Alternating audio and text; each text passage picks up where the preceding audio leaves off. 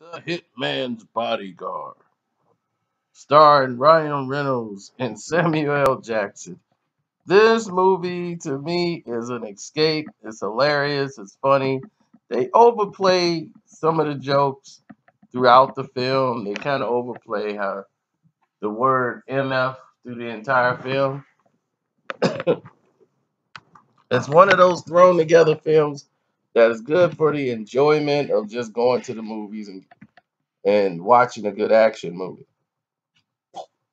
And Samuel Jackson character plays a hitman who's actually in the witness protection program because he's gonna roll over on the dictator played by Gary Oldman, who's basically there to just improvise playing a character and working on another voice.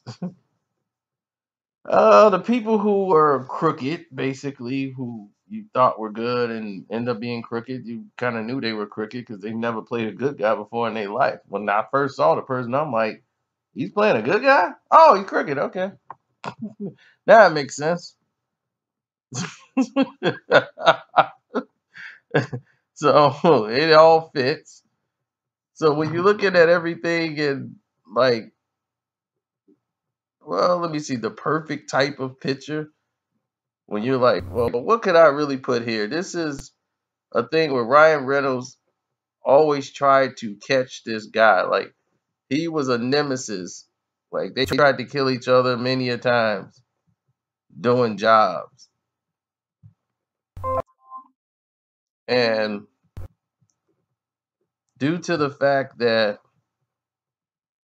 they tried to kill each other doing jobs, his ex girlfriend knew that something was wrong in the department and they were going to try to kill him and all this. So she ends up saving him and taking him to a safe house and dump him on Ryan Reynolds. And now Ryan Reynolds is forced to work with him. So, you know, here we go. The movie starts. and he really doesn't need Ryan Reynolds' help, but then again, he ends up like needing Ryan, Ryan Reynolds' help. And it becomes the buddy cop movie after a while, and it, it becomes entertainment. You know, you you're entertained by it, and it's hilarious. Samuel Jackson is at his usual funny self, right along with Ryan Reynolds with his '90s stick comedy, and they fit. I thought the chemistry between the two actually worked. And Salma Hayek is in a couple of scenes, but even in the scene she's in, it's funny.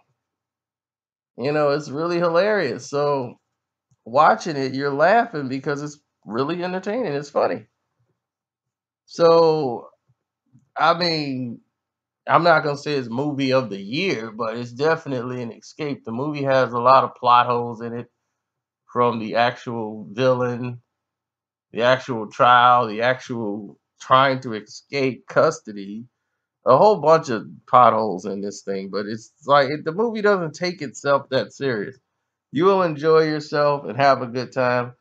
Um, I'll give it two and a half stars, you know, out of four, and you will enjoy the Hitman's Bodyguard. I'm out.